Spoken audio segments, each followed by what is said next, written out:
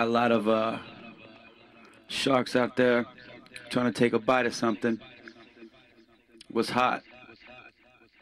A lot of chameleons out there trying to change up. Anytime something new comes along, everybody